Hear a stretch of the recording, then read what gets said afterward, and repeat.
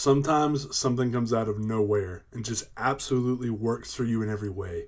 And I kid you not, I was floored by this. Werewolf by Night was absolutely incredible and I loved everything about it.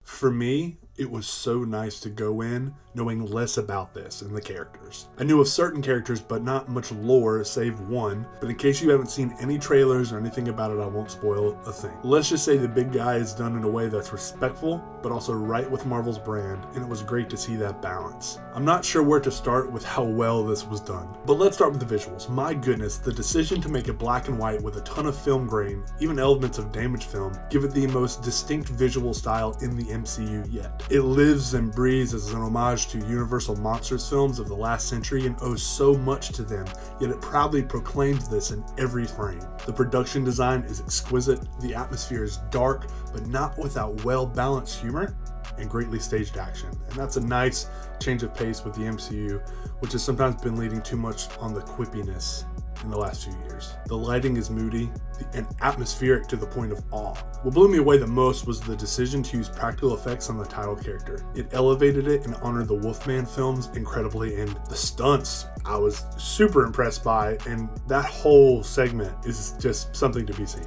It's it's epic with the aforementioned action being exciting and bloody. This is probably the most violent and gory the MCU has ever been, and I'm all for it in this case, but be warned, it won't be for everyone, certainly not young kids. The plot is straightforward, but not without depth or cool lore additions. Some of the exposition I was confused on momentarily, but I quickly caught on and realized what was said and what was going on. It's not hard to follow, just don't get distracted by your phone like I did in the beginning, and you'll be fine. I'm also shocked at how much they squeezed into 55 minutes, and that's with credits. It's got a surprising amount of character depth and the pacing is perfect. My biggest complaint with this is twofold.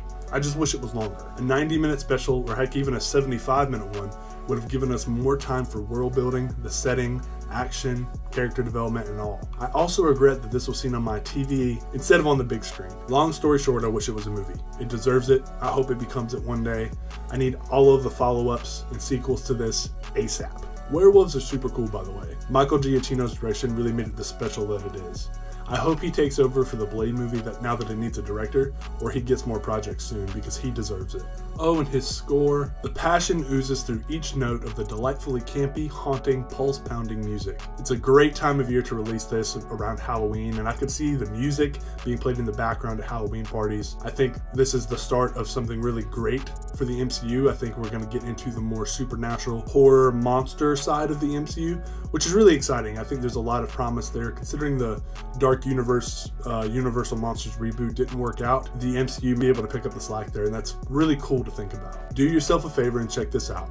It's horror light, but it's not so much scary, it's just atmospheric and in that genre. Give it a shot, and I promise you, if you don't like it, maybe this just isn't your genre, but I'm realizing that the older I get, the more I appreciate the levels of the horror genre. It also helps I've always been a fan of creature feature horrors too. This is probably the biggest surprise of the year for me so far, and everything about it was so refreshing. The MCU lives. I give Werewolf by Night 5 out of 5 stars.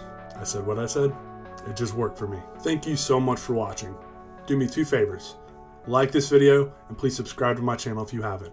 And remember, always look for the good.